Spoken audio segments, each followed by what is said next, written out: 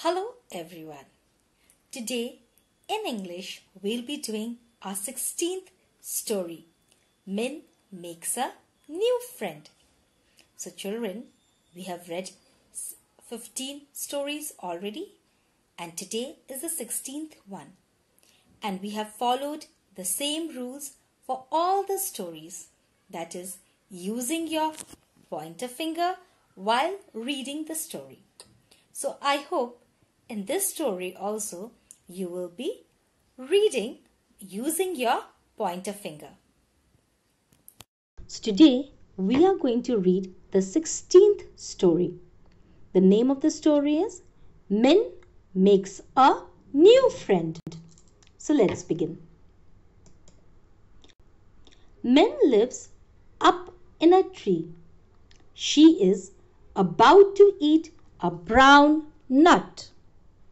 Moving on. But plop!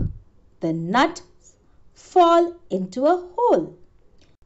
Who lives in the small hole under the ground?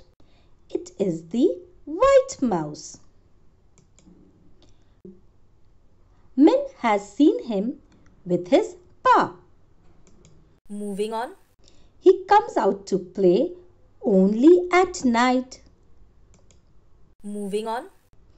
But all her friends play only when there is light. Hello, she says. Are you awake?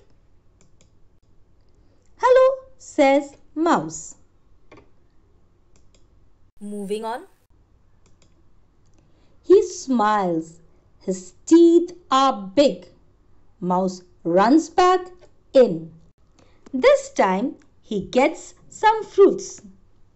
Do you want some? He asks. Yes, thank you, says Min. I will share my nuts with you. I have many.